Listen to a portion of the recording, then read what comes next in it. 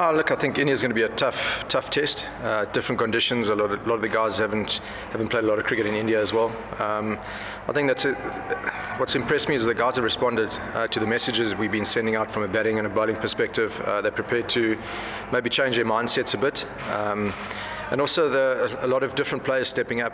Um, you know, there's, there's one thing when you give opportunities, but I think the guys uh, throughout the team have, have, have taken opportunities, um, and it's it's causing me a good headache uh, going to, to India with, with regards to selecting uh, 11. But I think it's it's a good position for us to be in because a lot of the guys are in form. Uh, the confidence is nice and high. Uh, but like I said, I think uh, India is going to be a, a, very tough challenge. Uh, we're coming up a very good Indian side as well. Uh, but we'll, we'll get there. We'll keep working hard. Uh, one swallow doesn't make a summer. We understand that. we're at the bottom of the ladder. Uh, and we've got to keep climbing up. Um, I think our, most of the players in the, in the side know that, they respect that, um, and they understand that there's still a lot of hard work to be done um, going going forward in the, in the near future. Besides Wednesday night what changed your mind about um, well, Janneman, I mean, we, we selected the squad before the the, the well the, the first in, uh, ODI against Australia. Um, Temba is not 100% fit yet. Um, so we had a discussion with Temba. Uh, we decided to pull him out of this series. Uh, the medical staff have uh, recommended that maybe he might miss, miss, the first game as well, so we needed cover for, for him.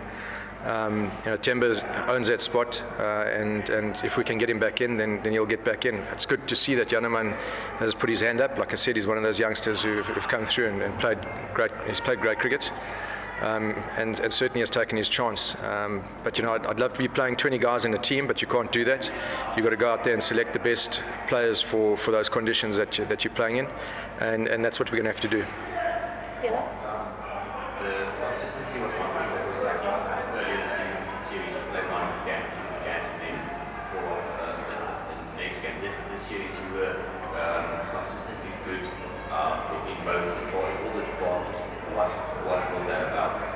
I think change of format is, is quite important to, to realise. Um, you know, in the T20 games that we've played, uh, yes, we haven't, we didn't do well in two of the games, but I think in both the games we are probably chasing 30 to 40 runs too many, um, and that can sort of happen that you, you go out there trying to win the game, and we had certain targets that we wanted, wanted to achieve in the first 10 overs to give ourselves a chance, um, and we unfortunately lost wickets against a good bowling attack up front.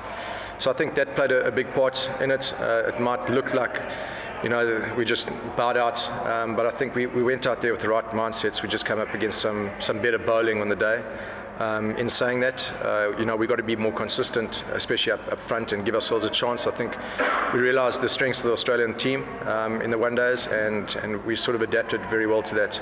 Um, and the guys are buying into the plan. Like I said, you know, it's one thing saying things, but the guys have to go out there and actually believe that the plans are, are there for a reason. And I think that's that's where the mindset changes come in, and that's probably why we've been a lot more consistent. Mark, um, we saw an update from Cricket South Africa the last day or so about you know, being aware of this coronavirus.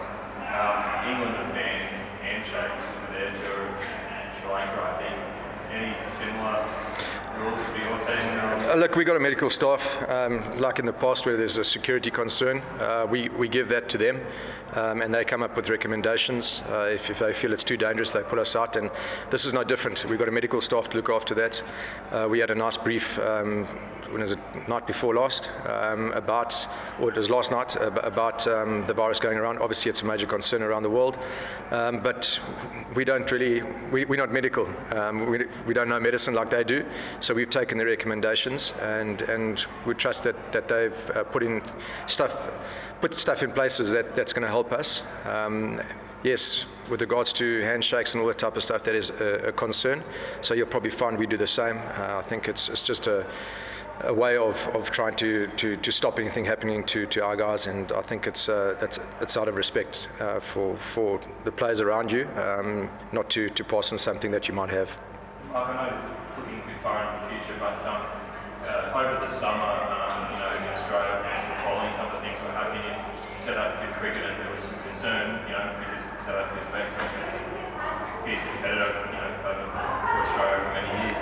Uh, there's a test tour against Australia here next year. You know, what kind of shape do you think your team will be in for that? You know, Well, okay, so this is a different format. Um, the white ball cricket, um, you know, we've been very, very, been very good uh, with regards to white ball cricket. We're still a long way off in Test cricket, so there's a lot of hard work that needs to be done um, with regards to Test cricket, and we've We've uh, put, put in place some camps during the off season. I've said to the guys that you know the off season is one thing, but I think we've got a lot of catching up to do with world cricket, where we want to be, where we can be, um, and the guys understand that there's a lot of hard work to be to be done before we start playing the next Test series uh, in the West Indies.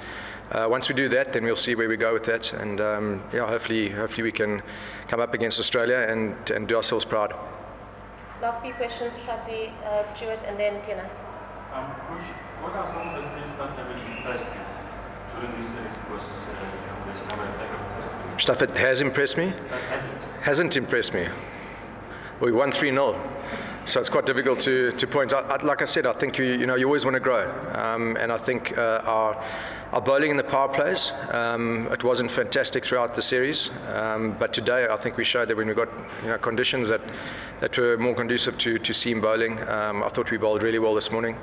Um, it's something that we have spoken about, but I think you also got to take it into context. Like I said, you know, we, we, we've spoken about the Australians and we, we feel that they're strong. Um, the one, two, and three in the Australian batting lineup, you know, you don't get many better top three uh, in the world than, than those three. So, you know, if you can try and uh, limit limit the damage up front, um, you know, you, you have to try to do that. And we probably went for too many runs uh, in the first two games up front, but we managed to pull it back nicely. So we're always looking to grow, um, and we keep challenging ourselves, and, and that's the discussion that we had. Um, so yeah, that's one of the places I, I don't see it. I don't see it as a, something that I'm, I'm not happy about. Um, I'm happy about it now because I think we learned from it. Um, you know, if it's not happening, you're not learning, and uh, I, I see it as a growing process uh, for the guys. Stuart? We've seen a relatively young team do quite well in this series. What fucking you see coming back in? What role do you see him playing?